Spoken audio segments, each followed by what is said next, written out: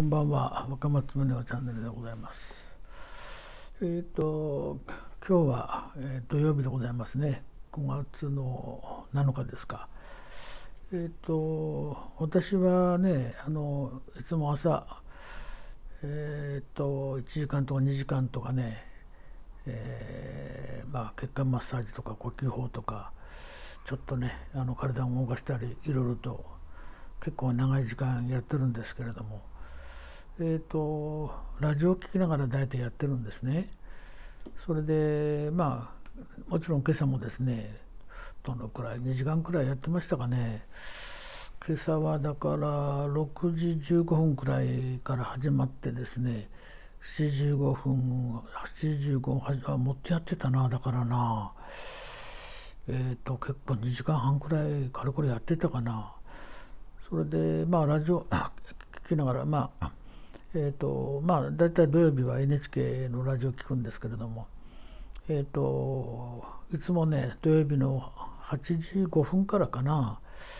かれこれ、えーと、2時間くらいですかえっ、ー、とねあの石丸健次郎さんっていう方の「山カフェ」っていう番組があって。まあね、アシスタンアシスタントの、えーと、アナウンサーの方は NHK のアナウンサーの山本翔さんという方なんですけどこれはとってもねいい番組でねなんか土曜日の朝っていう感じでえっ、ー、とね都会の真ん中にいますけれどもなんかこうね郊外の田舎ののんびりしたところになんかあのいるんじゃないかなっていうそういうほっとした気分になる番組でございますけれども。今朝はねあのえっ、ー、と動物動物の、えー、あれですかね。えっ、ー、と動物まあ四十からですよね。四十からをねえっ、と研究されてるですね。えー、鈴木俊樹さんっていうんですかね。という方がゲストでお出になってね。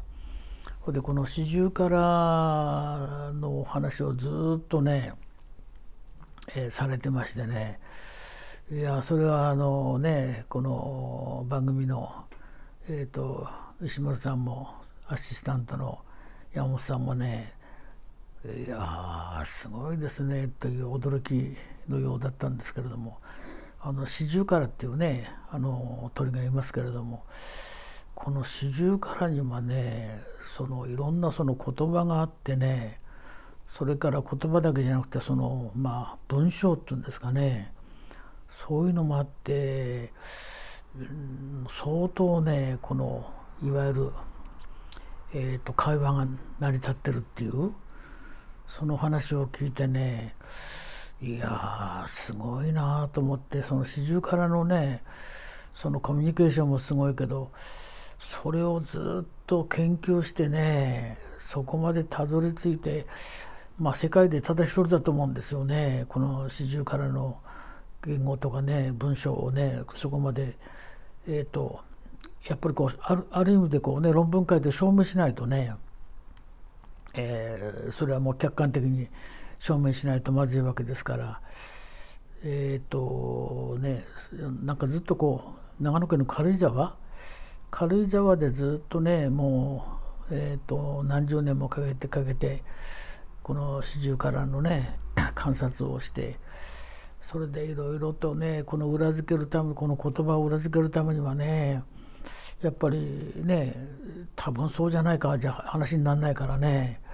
やっぱり証明しなくちゃならないわけだからしかしまあすごいことやったなと思いますよね。まあとにかくそのねこの研究のことはねなんかあの中学校の国語の教科書にもねなんか掲載されてるようでございますけれどもまあすごいねあのこの四十私もね田舎育ちだから四十からっていうのよく知ってますよちっちゃい頃から。ね、でもねあのなんかね鳴き声は分かってるけどまさかねそういうすごい微妙なねこの言葉の種類だとかそれから言葉のねピッピッピとかジュジュジュとかその順番があるらしいんだよね。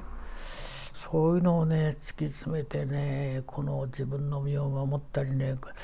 子供を守ったりねそれからいろいろとこうねえっ、ー、となんていうのこの自然の中でねこうねあの危険なやっぱりね蛇とかねそういう諸々のの敵からね守っていけなくちゃならないわけだから。でもなんか鈴木さんはねそのおっしゃってましたよ。この四十からのねこの世界っていうのはねまあ人間がねこういろんなイメージの中でああ素晴らしいなっていう感動の中で生きてるけど